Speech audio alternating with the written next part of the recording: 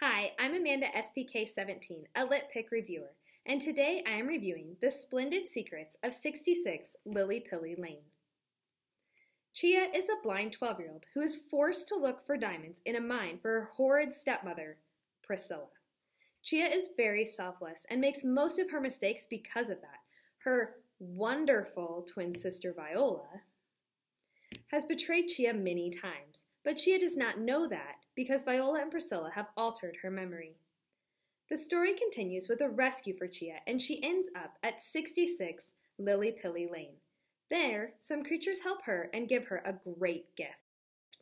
But she remembers her sister is at the castle and asks her new friends to help rescue her.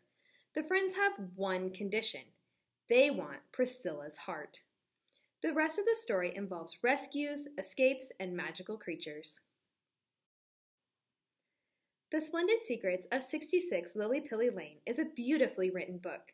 Whenever I picked up the book, I was immediately drawn into it, and I felt like I was part of the story. This book reminded me of Beauty and the Beast and Cinderella. The many friendships and conflicts in the book enhanced the story. The author of this book added so much detail, and the twist at the end is fabulous. The book has a very important theme, which is to take care of yourself and make yourself a priority. People need to find a balance between being too selfish and too selfless. I have never read a book that has this theme, and I liked it since it was different.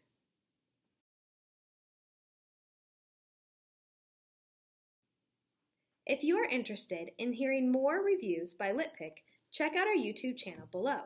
Or if you're interested in reviewing for Litpick yourself or having your own book reviewed, check us out at www.litpick.com.